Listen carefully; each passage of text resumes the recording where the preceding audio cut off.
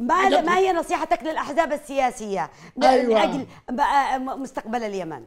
نصيحتي أن يوحدوا صفهم وأن يكونوا قوة واحدة وأن يتجاوزوا لبعضهم البعض وأن ينسوا الماضي بكل ما فيه من عقد ومصائب وأن يغيروا قادتهم الذي قد مر عليهم عقود من الزمن. القيادة وأنا قلتها سابقا يجب أن تتغير. هذا هو الذي يجب عليه. هذا اللي أنصحهم به. طب كيف يغيروا قيادتهم؟ مثلا يخرجوا يتمردوا على ال- قل الم- المؤتمر قد قدوا 20 قسم. مثلا الإصلاح والاشتراكي والناصري. يغيروا قيادتهم كيف؟ أنا أتحدث عن الإصلاح. أنا متحدث عن الاشتراكي والنصري الإصلاح بالنسبة لي أنا أنا أطالب بتغيير القيادة تغييرها.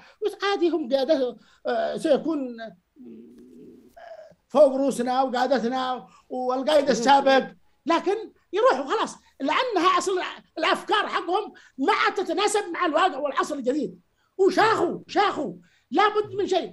لا- لأنه وهذا نصحتهم أول ما خرج المؤتمر بعد مقتل الزعيم بعد مقتل الزعيم وخرج المؤتمر. والله عملت رسالة. عودوا إلى صفحتي. وطالبت أن لا يفرح الإصلاح بش- بتشف- تشظي ال- ال- ال- المؤتمر.